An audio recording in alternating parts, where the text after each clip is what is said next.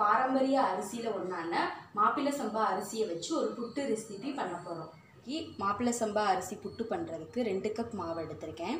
இந்த ரெண்டு கப் மாவுக்கு முக்கால் கப் அரிசி எடுத்து நல்லா வாஷ் பண்ணிவிட்டு நாலு டு அஞ்சு மணி நேரம் ஊற வச்சு மிக்சியில் பொடி பண்ணி வச்சுருக்கேன். ரெண்டு கப் மாவுக்கு ஒரு கப் தேங்காய் துருவல் அரை கப் சர்க்கரை ஒரு அஞ்சு டீஸ்பூன் நல்லெண்ணெய் உப்பு தேவையான அளவு. இப்போது புட்டு எப்படி பண்ணுறதுன்னு பார்க்கலாம். ஃபஸ்ட்டு வந்து ஒரு இட்லி பாத்திரத்தில் கொஞ்சம் தண்ணி ஊற்றிட்டு மூடி வச்சுட்டு அடுப்பை பற்ற வச்சிடலாம்.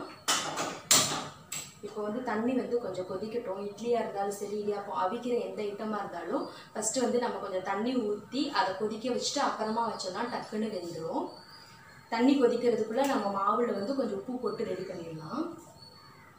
ஒரு பெரிய பவுல் எடுத்துகிட்டு மாவை வந்து அதை கொட்டிடலாம்.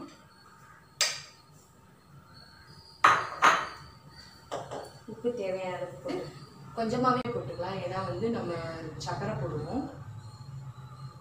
இந்த புட்டு வந்துட்டு நீங்கள் வந்துட்டு இட்லி சட்டியில் வச்சும் பண்ணலாம். இல்லை கொலா புட்டுலையும் வச்சு பண்ணலாம். இட்லி சட்டியில் வந்து மாவு மட்டும் நம்ம வச்சு அவிச்சிட்டு அப்புறமா தேங்காய் துருவல்லாம் மிக்ஸ் பண்ணிக்கலாம்.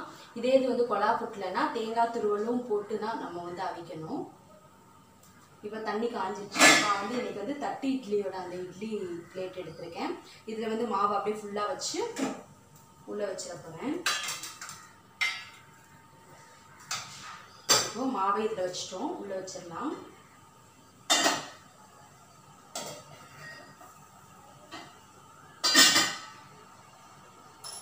வேகட்டும். இப்போ புட்டு வெந்துருச்சு. நம்ம வந்து அதை எடுத்துடலாம்.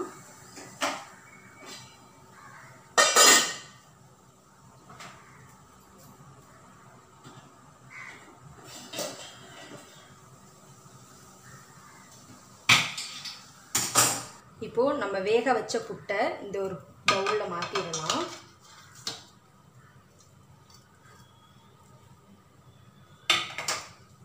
சூடாக இருக்கும். உதுத்து விட்டுக்கோங்க. இப்போ நம்ம எடுத்து வச்சுருக்க ஒரு கப் தேங்காய் துருவல்.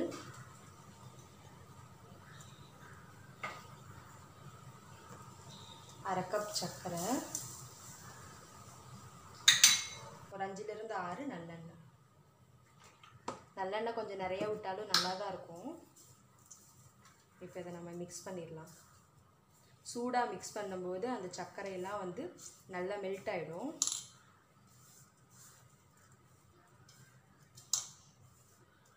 இப்போ நம்மளோட புட்டு ரெடி ஆகிடுச்சு நீங்களும் வந்து ட்ரை பண்ணி பாருங்கள் எப்பயுமே நம்ம வந்து வெள்ளை அரிசி புட்டு இந்த மாதிரி பண்ணிட்டு இருக்கிறத விட இந்த மாதிரி ஹெல்த்தியான அரிசி வச்சு நம்ம புட்டு பண்ணி கொடுக்கும்போது குழந்தைங்களும் விருப்பப்பட்டு சாப்பிடுவாங்க. எல்லாருக்கும் ரொம்ப பிடிக்கும். நீங்களும் உங்கள் வீட்டில் ட்ரை பண்ணி பாருங்கள்